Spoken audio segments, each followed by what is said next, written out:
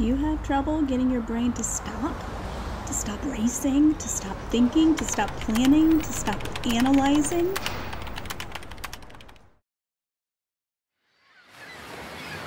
Welcome to a guided devotional called Rest in Your True Identity. We'll explore 10 scriptures that remind us of who God has made us to be. So let's take a few moments reflect on those truths and find peace in His Word. Find a quiet spot, take a deep breath, and let's dive into the scriptures together. We'll start with Psalm 139, verse 14. Close your eyes and reflect on these words. I praise you because I am fearfully and wonderfully made. Your works are wonderful, I know that full well. Take a moment to thank God for the intricacies of your being, recognizing the beauty in His design. You are fearfully and wonderfully made. You are God's creation. Jeremiah 29, verse 11. As we turn to that, let's think about God's plans for us. His scripture says, For I know the plans I have for you, declares the Lord, plans for welfare and not for evil, to give you a future and a hope. God gives us a future, He gives us a hope we can trust in His divine purpose that He sets before us, and we can find peace in His sovereign plan. Reflect on Ephesians 2, verse 10. For we are His workmanship, created in Christ Jesus for good works, which God prepared beforehand that we should walk in them. Ponder on that idea that you are a masterpiece that you were intentionally created for a purpose. How can you live out the good works He's prepared for you? 1 Peter 2, verse 9 reminds us of our royal identity.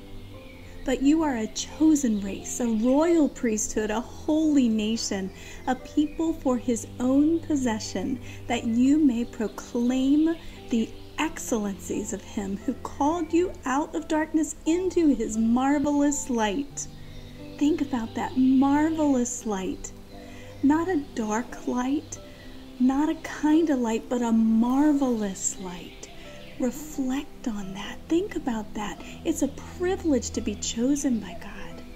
As we continue, let's think on Romans 8, verse 37.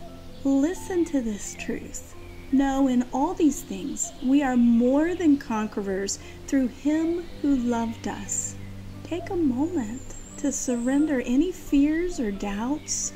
Just know that through Christ's love, you are more than a conqueror. Philippians 4, verse 13, assures us that I can do all things through Him who strengthens me. Think about a challenge or a dream that you're facing. How does knowing that God strengthens you give you strength to face any of those challenges or fears with confidence and trust?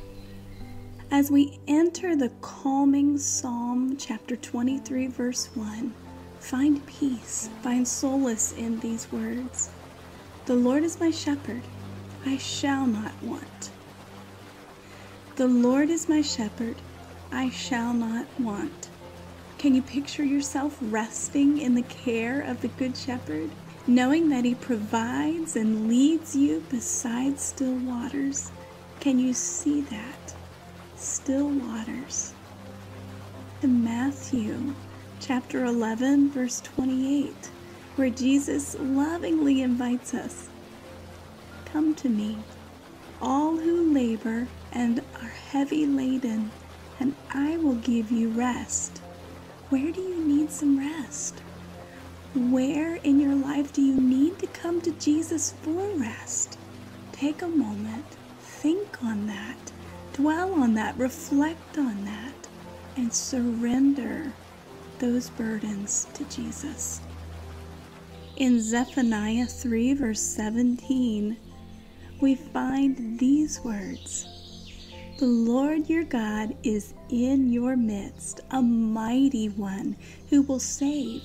He will rejoice over you with gladness. He will quiet you by his love. He will exult over you with loud singing.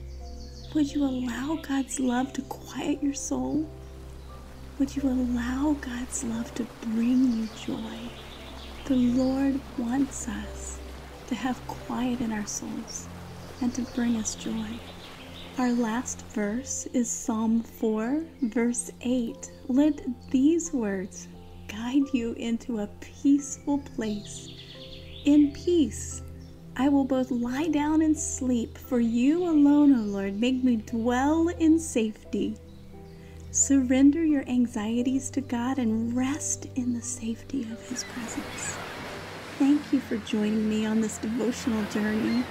I hope that these scriptures resonate in your heart as you rest in the truth of who God has made you to be. If you found this devotional helpful, take a moment, share it with someone who might need these comforting truths. Subscribe to this channel, and until next time, rest well in His love and be blessed. Amen.